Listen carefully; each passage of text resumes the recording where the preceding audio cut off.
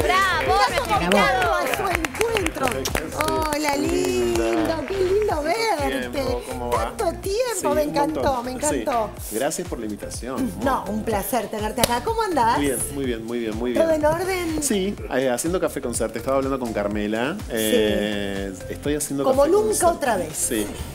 Yo no soy actor, ya se sabe. Pero es verdad que soy bastante extrovertido. Sos muy actor Eh, ¿no? no, Sí. pero no estudié actuación y no me considero actor y no us- usurparía una profesión que, que no me ¿Cómo es corresponde. el espectáculo? Contame, Es un café concert como el de la década del Ay, 60. qué lindo. Los escuchaba recién hablando En el Teatro de Picadero, Gasalla. ¿no? Que es divino ese el teatro. teatro, es lo más. Eh, Es como el de Gasalla y Perciavale de los 60, pero siglo XXI, 2024, dirigido por Alejandro Tantañán Sí. eh, y escrito por Liliana Viola. Es un espectáculo de mucho humor político, muy musical, Sí. de tono revisteril con la primera vedette hombre de la historia del teatro argentino que es Juan Pablo Mirabelli. Él es actor, Juanpi, y él siempre Sí. quiso ser vedette pero ser hombre siendo vedette. está muy bien. qué claro, es un rol. Que es un rol que estuvo históricamente asignado o a mujeres o a actores transformistas o a mujeres trans, ¿no? ¿Y cómo es Pero el no vestuario de un vedette hombre? Bueno, ahí está un poco. Se respetan, a ver si tenemos imágenes, a Por ver supuesto, de desnudo cuidado. Desnudo obvio. cuidado. Desnudo cuidado.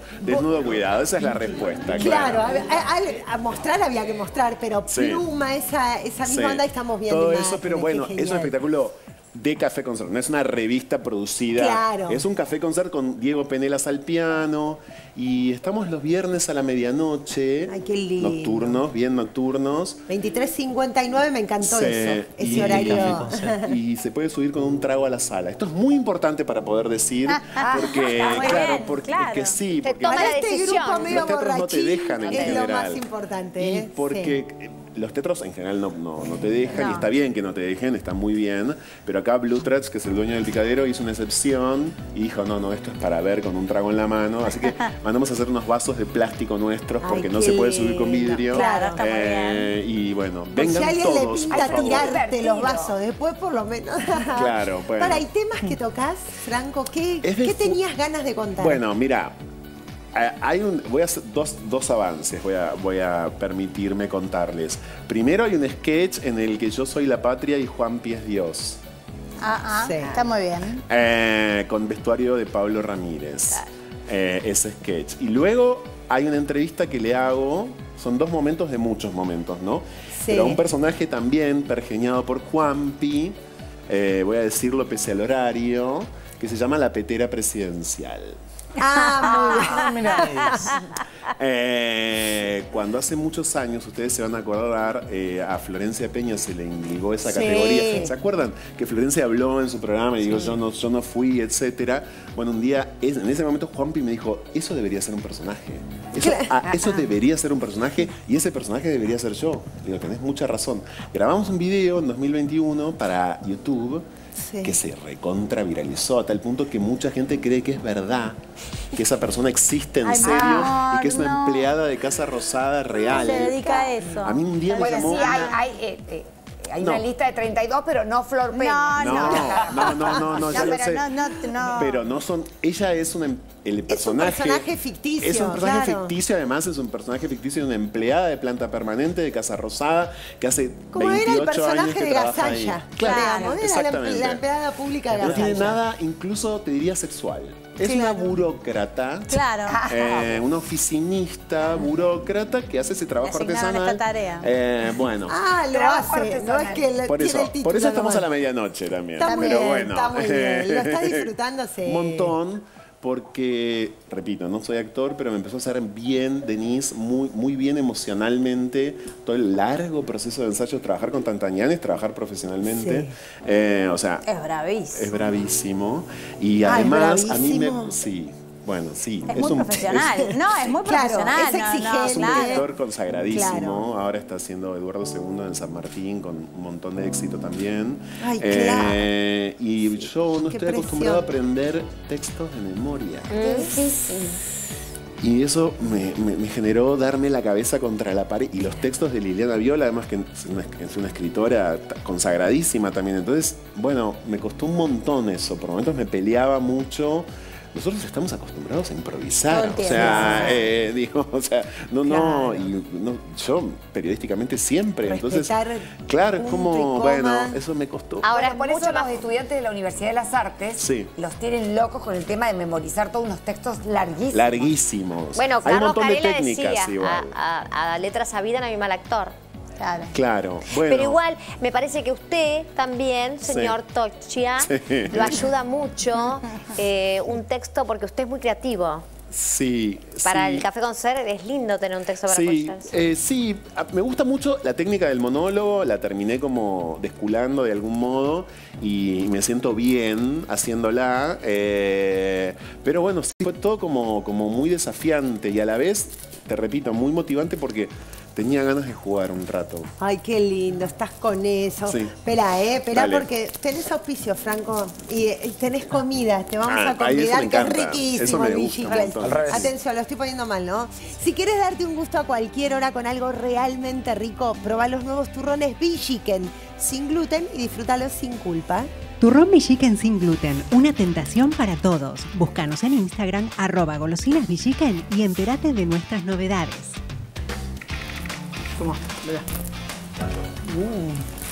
Muy bien, y atención, eh, que llega el, el momento de Palermo Design. Ahora vamos a hablar de muebles y decoración. Palermo Design refleja tu estilo en cada rincón de tu casa con atención y diseños personalizados. Visítalos acá cerquita, en Libertador 5954. Cuentan con estacionamiento exclusivo para clientes y también los puedes encontrar en arroba Palermo Design OK. Estos muebles divinos, ¿viste lo cómodos son? Así Una que buena besote, tela. Emilio, ¿eh? Ya lo vamos a ir a visitar, Emilio, con Gaby, ¿eh? Vamos a ir a ver qué es lo que hacen. Eh, bueno, Franco, ¿y, y la tele cómo? Bien. Bueno, es lo tuyo, ¿no? Conducir, Sí, no sé el si es lo panel. mío. ¿Vos decís?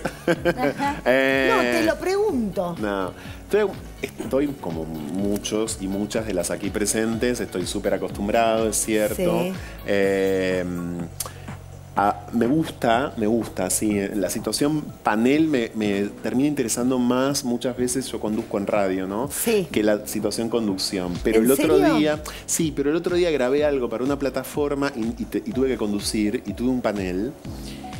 Claro, estaba liberado de la opinión y para mí era como una Claro. situación extranjera. Dije, yo no tenía que opinar, opinaba el resto. Claro. Entonces, me pasé un día entero como eh, eh, eh, desubicado. Dije, qué claro. Suerte no tener que, que- opinar un día. O sea, sobre algo, ¿no? O si no Eh, querés, es como, bueno, claro, si no quiero hay alguien que va a opinar. exacto, hay alguien que va a opinar. Eso es re difícil me el laburo del pareció- panel. sí. Es muy Bueno, nadie, eh, viste que nadie se lo imagina y nadie se pone en ese lugar a menudo, ¿no? Yo lo digo como conductora, es Por como, eso, bueno, claro. uno puede descansar, Exacto. vos sabés que, bueno, yo puedo decir, es esto, y, y los chicos, viste, Exacto. es, Eh, es muy importante Es el muy equipo. importante.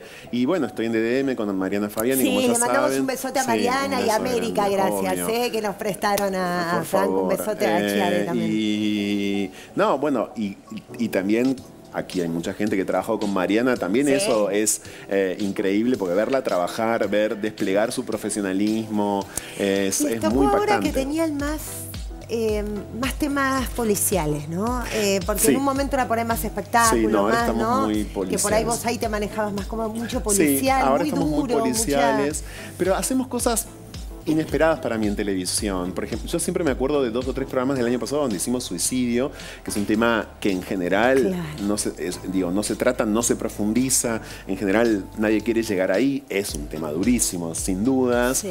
Eh, y a mí es en esos momentos en donde, como yo trabajo esos temas mucho en radio también, bueno, me, me- hace sentir súper bien. Ah, te, hace- te nutren, digamos, no es que decís ah, que sí. difícil. A mí me interesan esos temas. A mí siempre me interesó.